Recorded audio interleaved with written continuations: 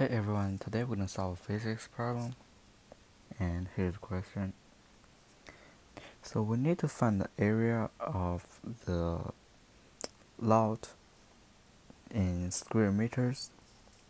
So what we can do is we can convert the width and the length to meter and then we'll multiply them together. It will be the easiest way. So 75 feet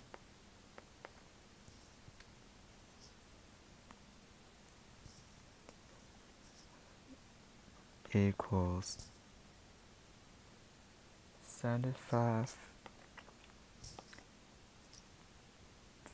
feet times 1 meter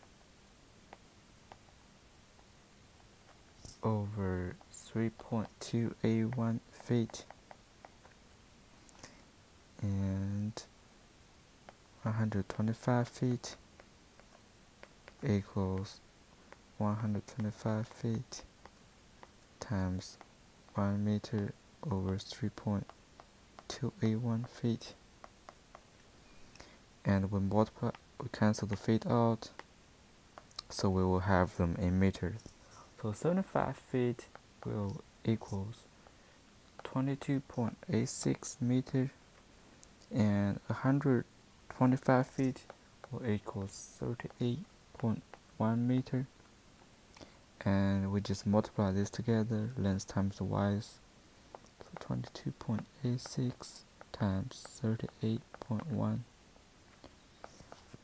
and we will have 870.9 meter square and this will be the area